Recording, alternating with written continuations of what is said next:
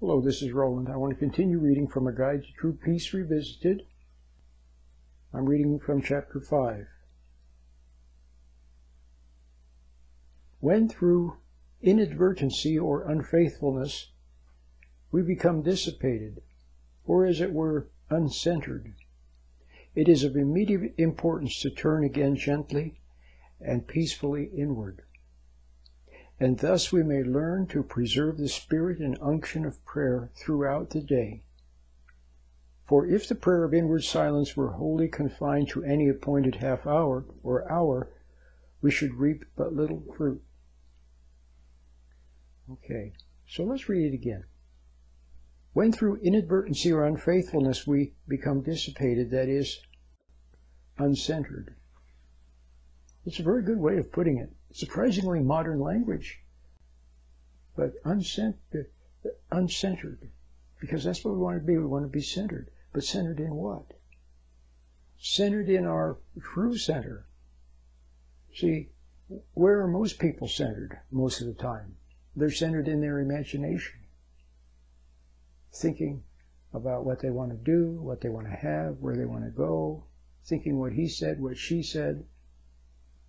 See what happened, trying to rearrange the past, or worrying about the future, planning and scheming, trying to get out of, scheming to get out of a mess, or scheming to find a, some solution to some problem that you brought on yourself by being lost in your imagination in the first place. But that's not where you want to be. You want to be centered. Okay? So that you can observe thought instead of being lost in the thought. So, let's continue reading what it says here. It says, it is, it is of utmost importance to turn again gently and peacefully inward. See, uh, let's say you begin the day with, with the proper meditation. The prayer of silence is what they're talking about here. I call it meditation, the prayer of silence becoming still. So, in the morning, you get up, you drag yourself to a chair, and sit in the chair and meditate for five minutes or so. Basically, closing your eyes, looking at the inside of your eyelids, and being aware of your of your hand or your hands. And when you're sitting there quietly, looking at the inside of your eyelids and being aware of your hand, perhaps a thought will come along to try to carry you away. So you notice the thought. And you become aware of your hand again. And then the thought dissolves. Another thought of what you want to do, those are often very strong in the morning. What you want to do, what, you, what, you, what you're going to do.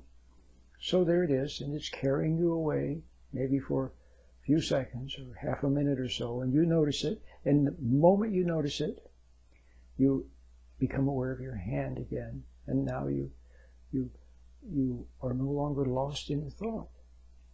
You're observing the you observe the thought, and usually when you observe the thought, then it dissipates, it dissolves, okay, or it flees. So you see how simple that is. Very simple.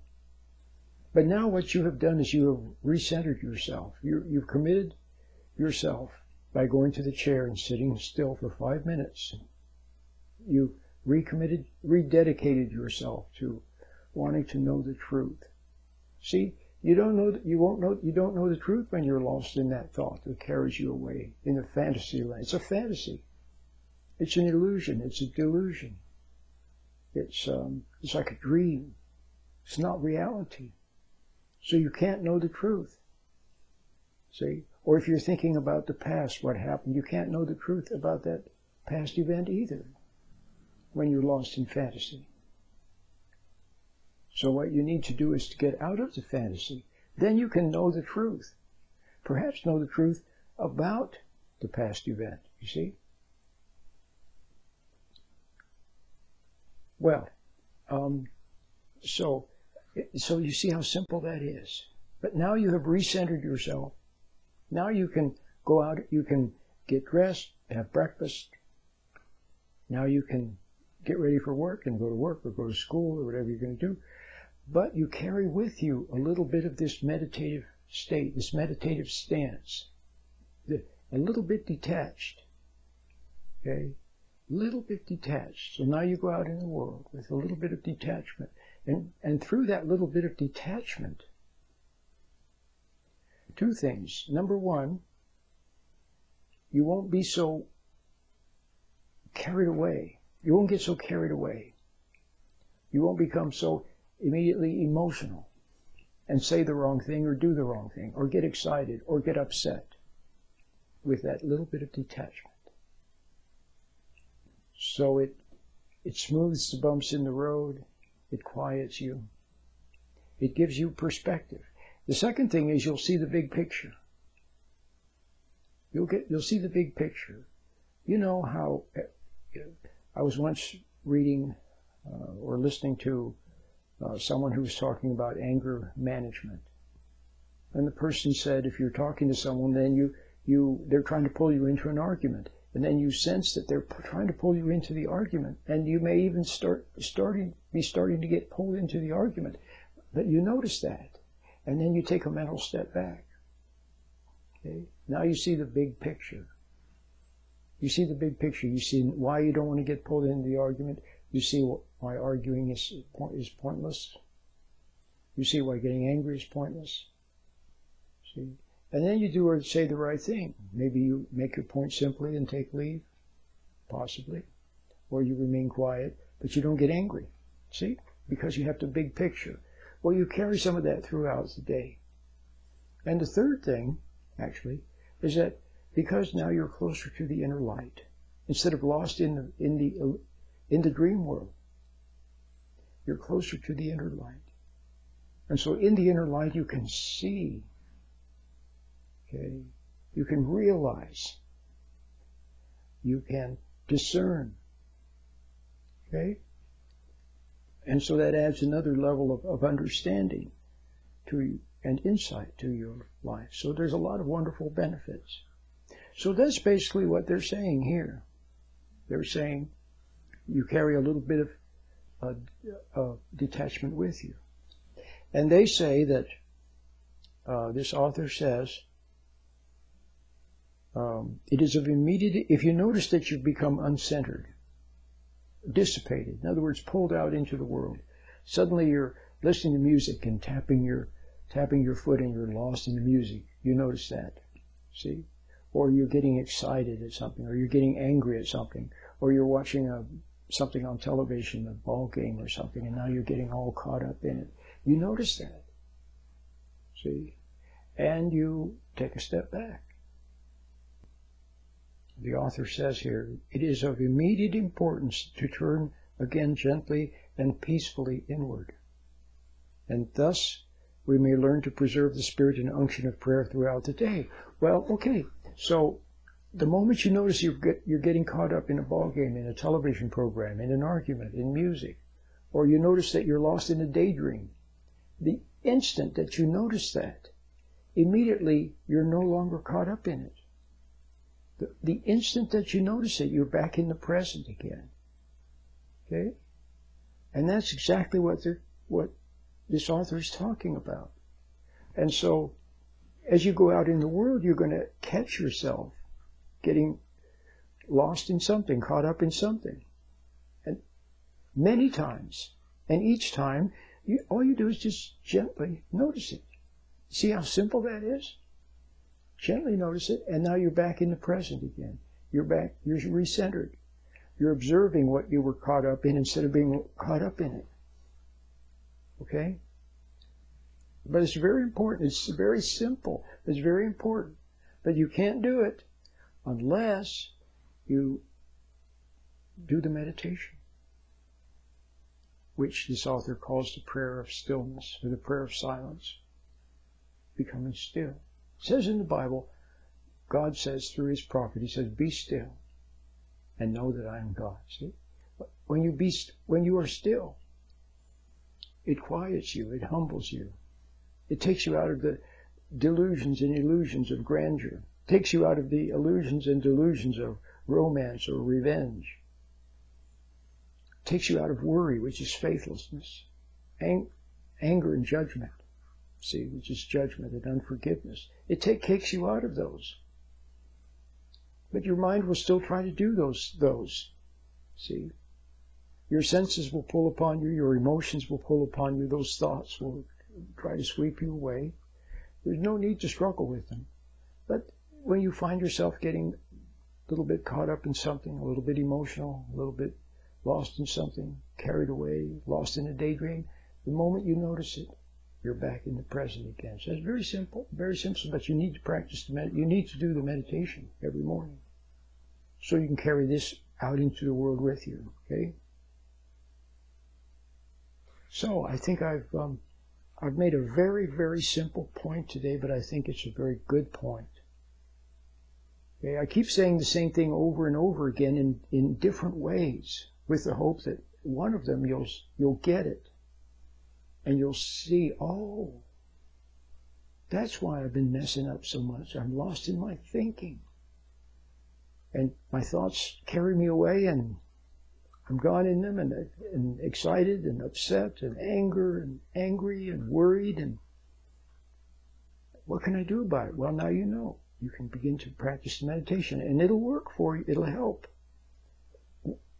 If you're willing to know the truth. See, if you don't want to know the truth, see, then it won't work. Because when you come, when you step back from that fantasy, from that illusion, from that delusion, from that daydream, from the music you were lost in, or the marijuana.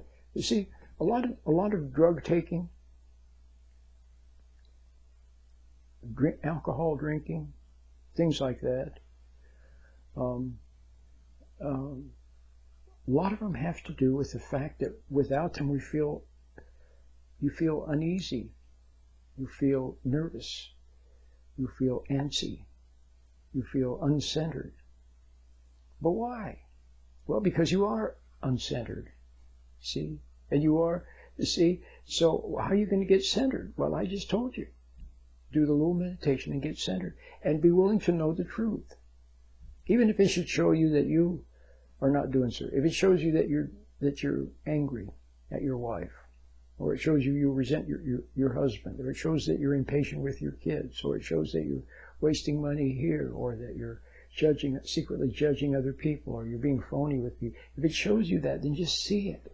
Don't try to do anything, just see it. But if you're willing to see it, do you see how you're closer to the truth?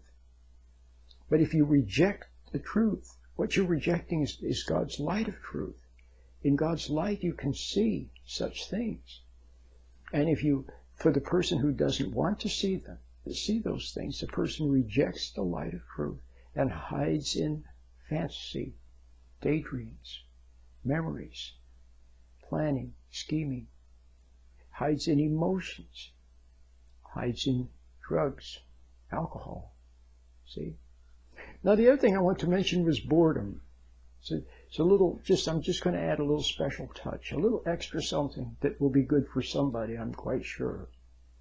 I'll never forget, long time ago when I was in Chicago, I knew a very nice lady, and uh, we were talking about something, and I said, you know, I wonder why people smoke all the time. I said, I think it's because of this, and I gave some philosophical re- reason for why they too many people smoke. She says, that's not it. She says the reason they smoke is because they're bored. Well, you know, there's some truth to that. Yeah, people smoke to to to get relaxed. Relaxed because they're they haven't been living properly, and that makes them conflicted and tense and nervous and so on. They smoke to avoid conscious. They smoke for the reasons that I just mentioned. Okay, and um, and they don't want to know the truth. They don't want to see the truth, face the truth, and so they escape into their smoking. But they are. But it is also boredom. Now, but here's what I wanted to say. This is a little extra touch that I'm giving to you. I'm never bored. See, my, my mind is alive with insights. The things I talk about here, that's the way I am all, all day long. Insights. I see, I go out in the world and I see, th- oh, now I see, I understand, I realize, I see principles. Principles of, of forgiveness. Over and over again, I see why forgiveness is so important. Okay? Or why I see being patient is important. See, having faith, staying close to your conscience, not getting upset. See, being honest. I see those over and over. I see them when people are that are honest or patient or kind, see, or truthful, and I see it when they're not. And then I see how it backfires on them and so on.